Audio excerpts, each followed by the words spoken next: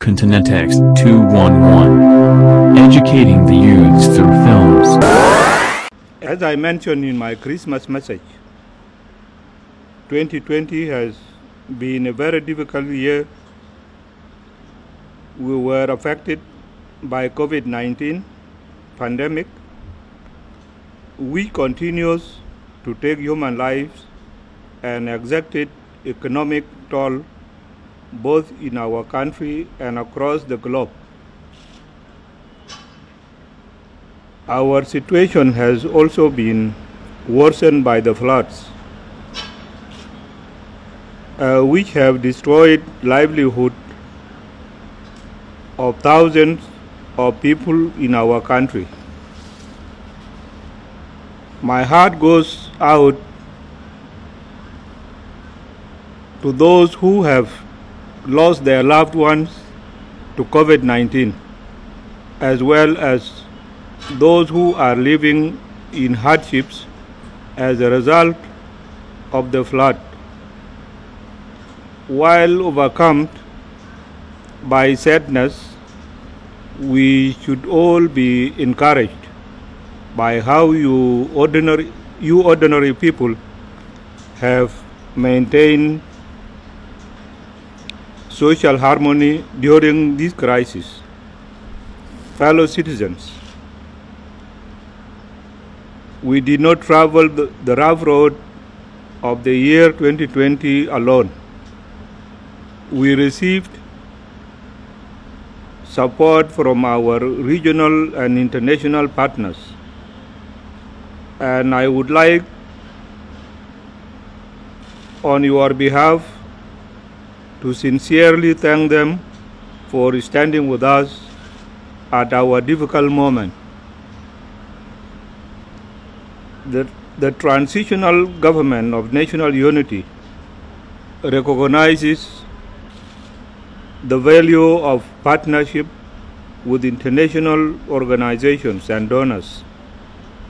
And this is why we have unconditionally offered our cooperation for all these years. On the basis of this, this belief, I am appealing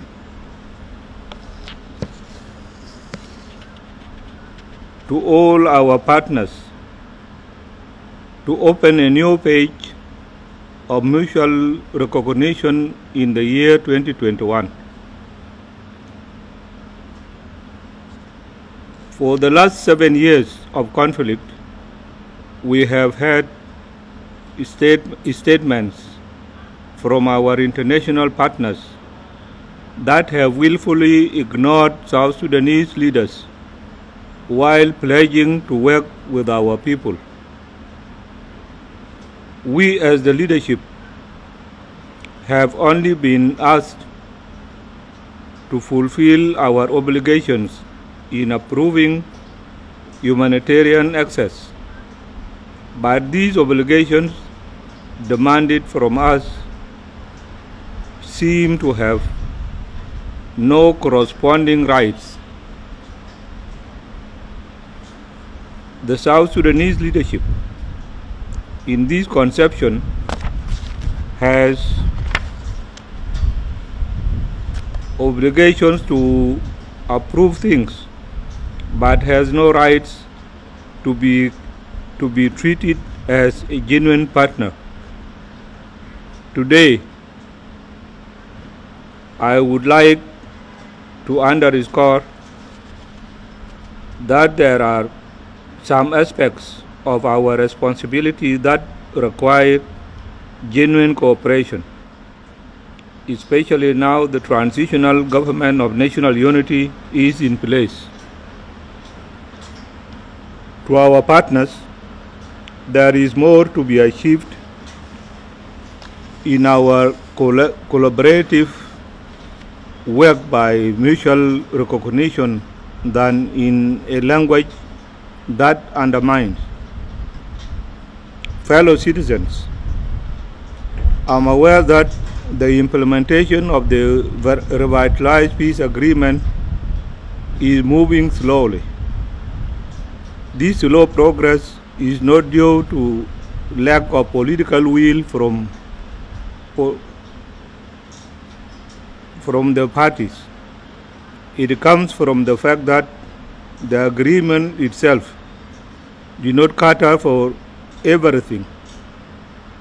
This requires the parties to work to work out these areas through di- through dialogue. While it has taken long, I am pleased to announce that the parties have reached a substantive agreement on responsibility sharing, except for the position of the governor of Upper Nile State. This agreement has paved the way for the parties to submit the, the proposed names of candidates for legislatures and state government officials. Although the announcement of state government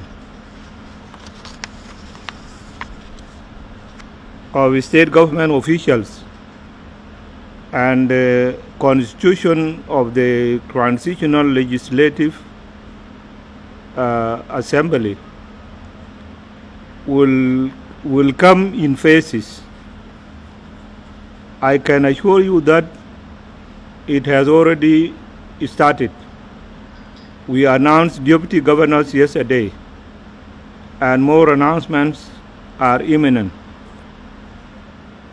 For this milestone, I would like to congratulate the parties and urge them to use this momentum to quicken the pace of implementation of the remaining chapters of the agreement.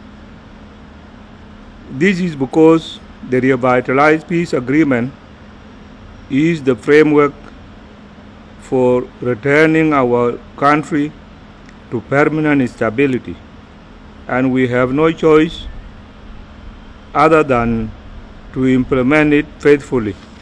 While work continues on the implementation of the revitalized peace agreement, we are also engaging whole out groups through the Rome process to make the quest for peace in our country inclusive. These talks are now progressing under the guidance of San Sant'Egidio community, and I would like to appeal to my brothers and sisters in the South Sudan Opposition Alliance to see this as an opportunity to silence the guns in our country. The transitional government of national unity is committed to Sant'Egidio mediation, and we are hopeful that tangible progress will be achieved in the next round. Fellow citizens, let us all work to silence the guns in 2021. This will allow us to focus on directing our resources to national development priorities such as service provision to our people. May this year be the year of peace and hope for our for us here in South Sudan and for humanity.